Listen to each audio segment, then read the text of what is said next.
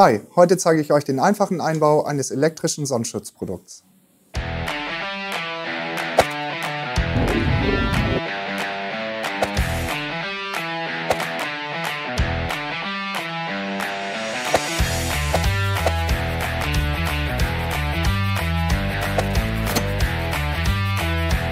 So, wir fangen an mit der Velux Kassette.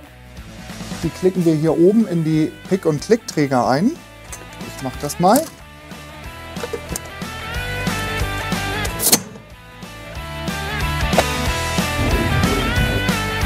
Danach haben wir hier die Schnurhalter. An diesen Schnurhaltern befindet sich ein Abstandshalter. Da kann man quasi nichts verkehrt machen. Die klicken wir auseinander. Auf den Haltern ist schon beschrieben, einmal links und einmal rechts. In der Verpackung ist ein Schraubenzieher dabei und natürlich die dazugehörigen Schrauben. Wir fangen jetzt mal mit dem rechten an. Hier in die Ecke. Natürlich darauf achten, dass man den Halter an den Flügel schraubt und nicht hier an den Blendrahmen. Dann passt unser Rollo nicht.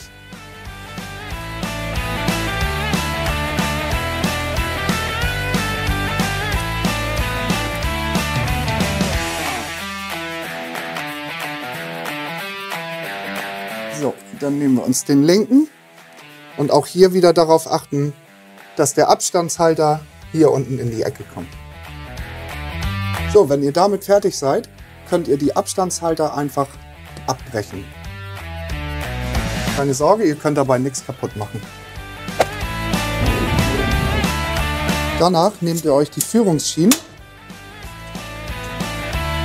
Die Gärungen sind von Werk aus schon vorgefertigt und die rasten wir jetzt hier vorne bzw. oben in diesen Führungsträger ein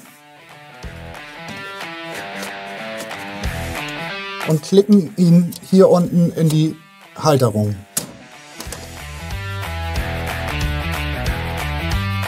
Das gleiche machen wir auch auf der rechten Seite.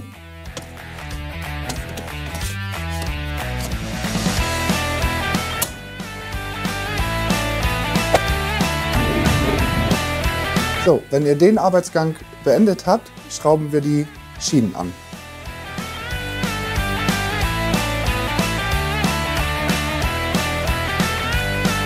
So, das gleiche auch auf der linken Seite. Das Schöne ist bei den Velux Sonnenschutzprodukten, man braucht nicht vorbohren, weil die Schrauben sind so spitz, die gehen ganz locker durch den Kunststoff durch. Und auch gerne die Schienen beim Anschrauben einmal nach oben schieben, beziehungsweise in diese Richtung, damit oben die Schmieden schön sauber zusammenliegen.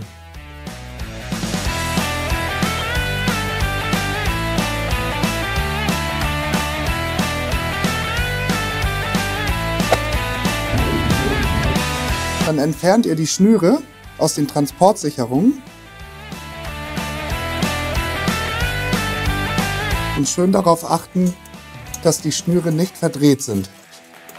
Man kann ruhig mit dem Finger hier so durchrutschen, den Schnurhalter in die Hand nehmen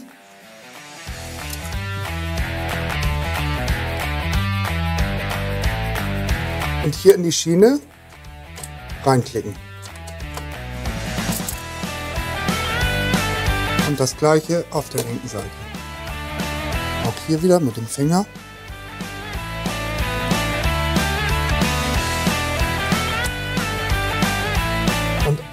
Einklicken.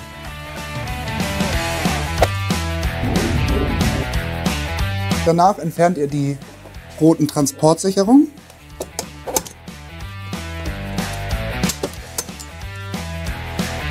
Die könnt ihr entsorgen. Kommen wir zum letzten Schritt. Der vorprogrammierte Wandschalter. Da legen wir die Batterien ein.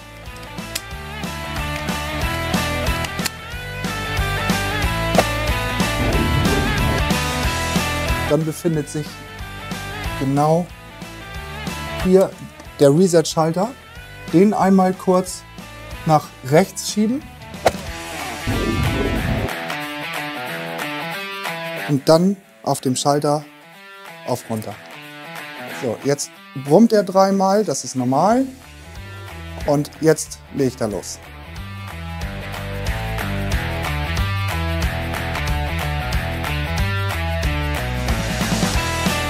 Und wie ihr seht, so schwer war es gar nicht.